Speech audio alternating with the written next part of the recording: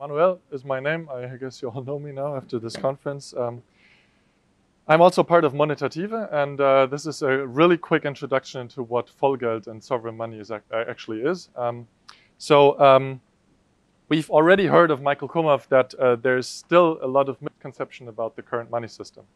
And um, what has been very remarkable is that from 2014 on, two uh, central banks have really put forth very, very uh, clear reports and argument, uh, arguments how the money system actually works. So we see here a quote from um, paper Money Creation in the Modern Economy by Bank of England. Money creation in practice differs from some popular misconceptions. Banks do not act simply as intermediaries lending out deposits that solve, uh, savers place with them, or nor do they multiply up central bank money to create new loans and deposits. They go to the intermediaries of loanable funds and the multi um, multiplier theory. Whenever a bank makes a loan, it simultaneously creates a matching deposit in the borrower's bank account, thereby creating new money. The German Bundesbank has also uh, put forth another uh, report. And um, I mean, I'm not going to have to go through that, but basically saying the same thing. So uh, over the last years, there has been a dramatic shift in uh, the, to my mind, in the um, um, communication about the current money system, also from central banks. And I remember uh, when I got across the uh, functioning of the current system four years ago, a lot of people said this is a conspiracy theory. Uh, banks do, cannot and do not uh, create money. I was approaching professors at my university. They still believe in those theories. So um, we're still in the infancy, I believe, to really um, get the experts and professors to understand how the current money system works. And so this is basically how it works. We have two different monetary uh, money cycles. There's a, a small one, which is, um, do you have the clicker here? Yeah. Uh, these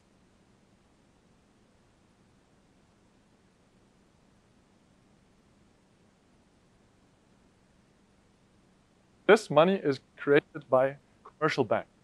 There's no um, interference of the central banks because they don't have access to the non-banking sector. They only have access through cash, and uh, but not uh, in the digital money sphere, so to say. Um, it goes like this. I guess you all have seen it. Uh, it's just a balance sheet extension. We have on the asset side and deposits here. And uh, banks are special because the institutions that actually can hold deposits for their customers and use these deposits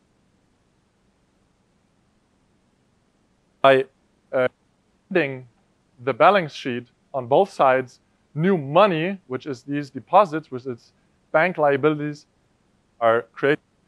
Um, the reserves position remains the same. So there's no immediate uh, increase in uh, central bank reserves.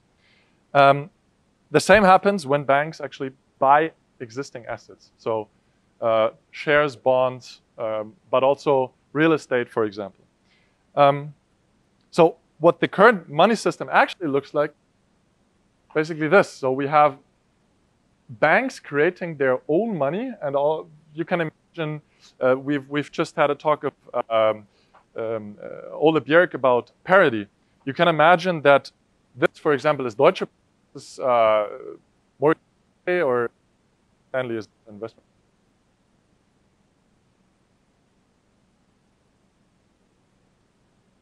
here, so to say. And if a deposit is transferred within their own balance sheet, there's no central bank reserves uh, involved. If we only had one giant commercial bank, there would, no, uh, there would be no need for a central bank. So each of the banks creates their own money sphere, and then to channel funds from that bank to that bank, what they need to have is some kind of liquidity, and this is the central bank reserves. Um, but let's get back to uh, one bank because this is uh, much more. The ideal case is that for the real economy. Yeah? Um, but what actually happens is, this is an example of Great Britain. This is, this is the lending of the top five banks from 97 to 2007, so the decade before the, the crisis. Uh, ha actually happened is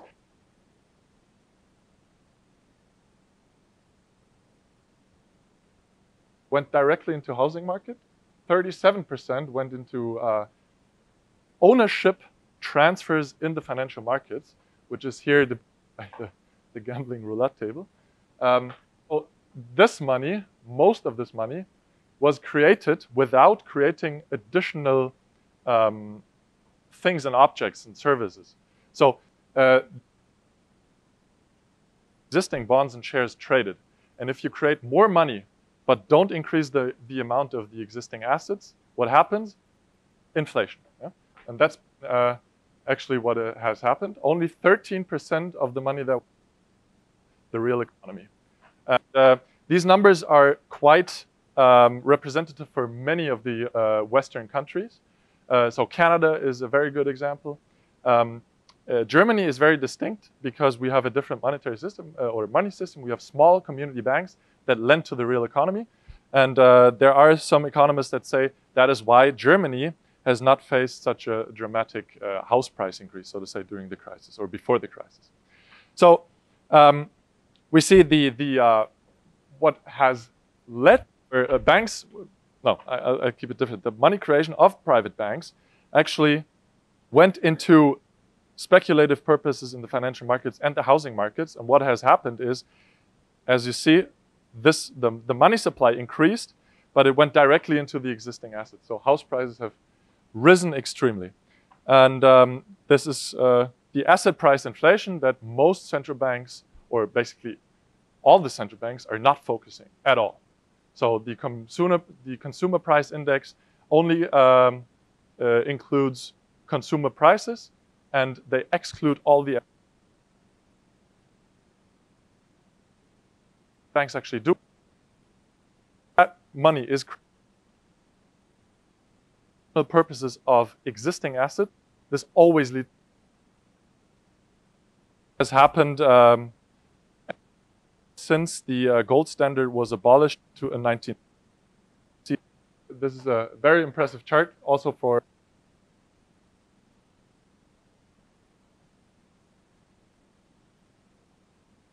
we've a dramatic expansion of money. Um, I'm only talking about bank money. I, I know we have uh, heard talks about other types of forms of money, uh, which is of course even worse. And what uh, was the result of that?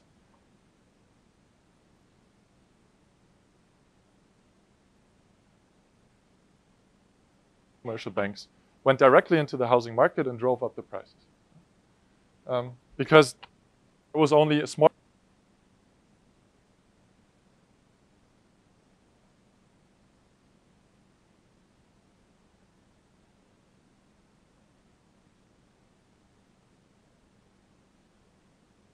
when the uh, loans that the banks are giving out are repaid, there's a money supply contraction.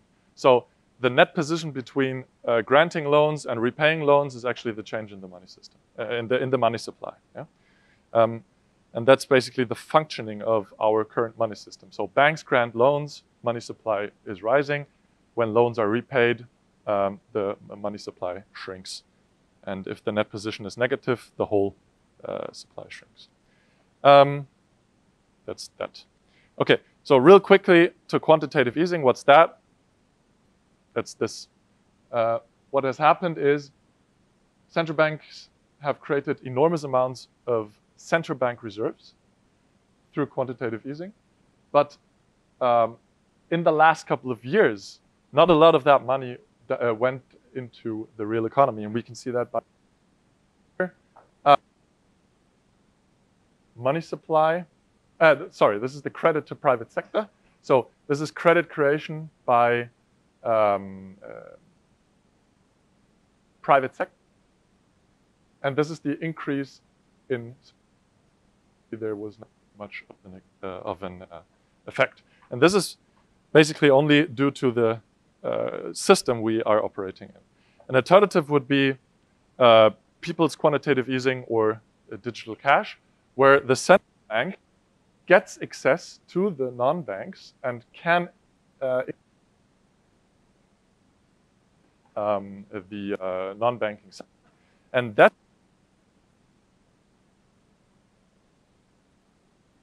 the aim of the sovereign money or the Vollgeld to uh, basically prohibit commercial banks to create money and have uh, a central bank or a public monetary authority. Uh, we have uh, these discussions inside the IMMR and uh, inside the International Monetary Movement. Um, either a central bank or another public monetary authority should be the only institution that creates the money, and it should uh, so as an asset. Yeah? So and that's uh, I mean Edgar was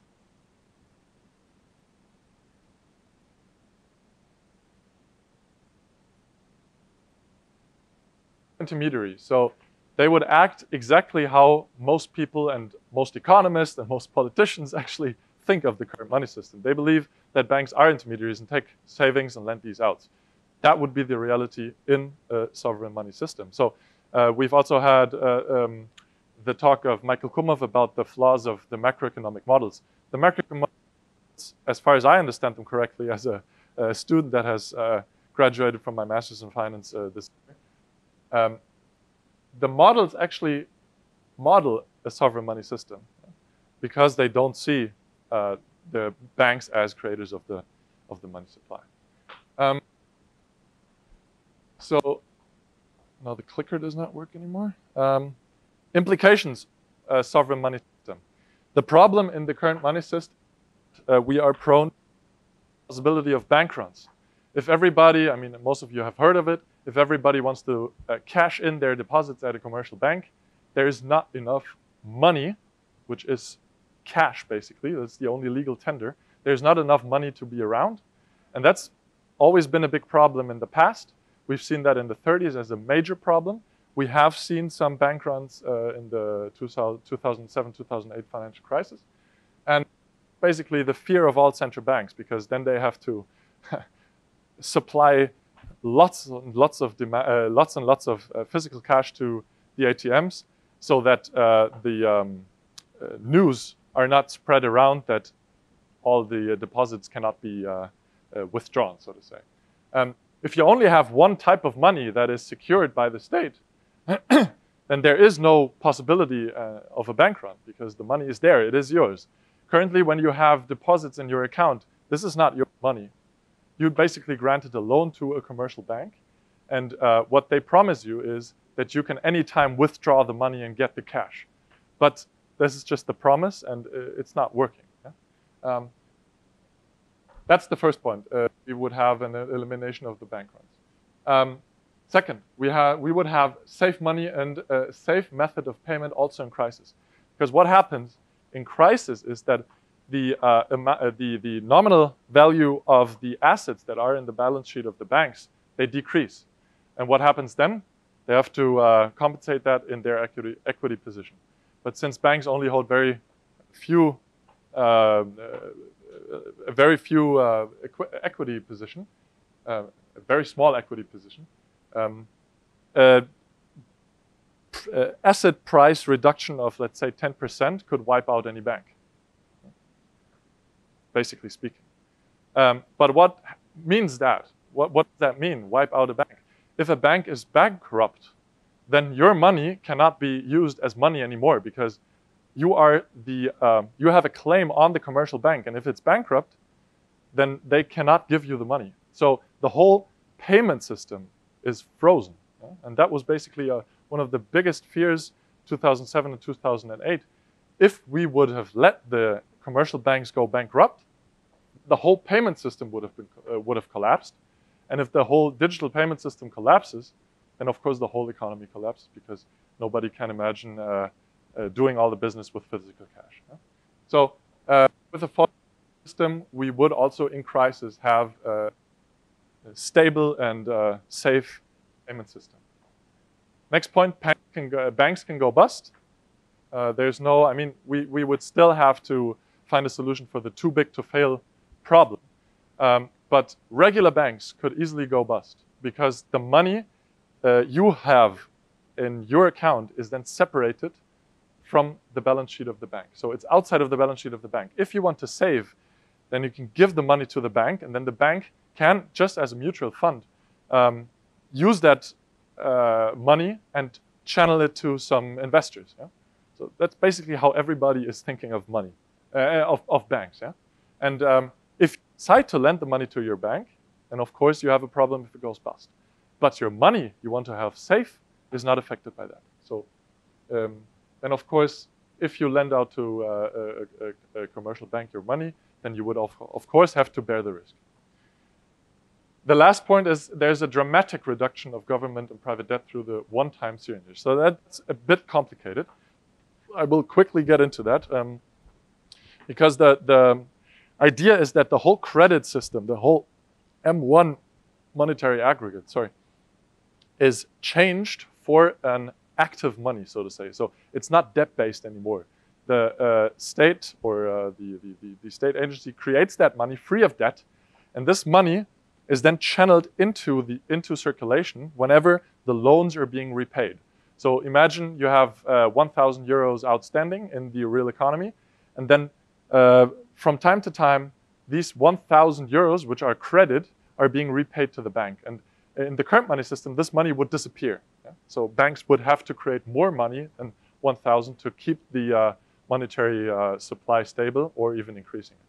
And um, through the one-time seigniorage, um, what would happen is that, uh, that's my alarm that I should stop now, um, is that this money can then be used, which is debt-free, to repay uh, uh, debts. So there's a, an extreme advantage to uh, bring down government debt across many countries. We, see that here. Um, have, these, these are 2011 numbers. Um, outstanding government debt, which have been rising dramatically ever since. Uh, this is the percentage of GDP before the transition. Then you would um, use that amount of money, M1, and transfer that from credit money into sovereign money, into Vollgeld. And that money could be, for example, used to repay government.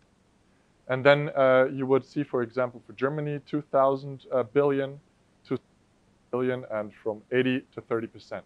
Some, for, exa for example, Switzerland in 2011 would have gone completely free of government debt.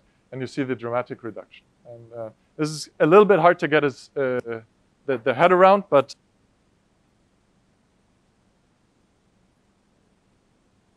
to it's like inflation. Uh, the current system is with an interest in uh, making money, so profit oriented. So in good times, they would create more money and more money and more money and drive up asset prices and then use these new uh, asset prices that or assets that have been driven up in, in prices as collateral. So they can grant more money and then use that as collateral and create more money. So it's like a little bit of a Ponzi scheme. Uh, uh, this would not be possible anymore because the commercial banks would not increase the money supply. So there's a dramatic, uh, I don't know how you call it in English, uh, uh, flattening of the credit cycle. Uh,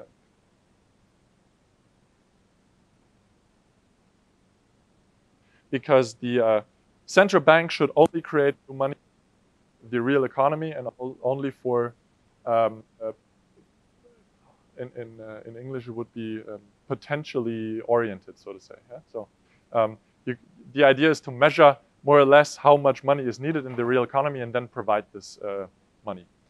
And um, yeah, so that's basically it. There have been some uh, uh, in was a strong debate in Iceland. We also have that report uh, down there. You can get it. It's written by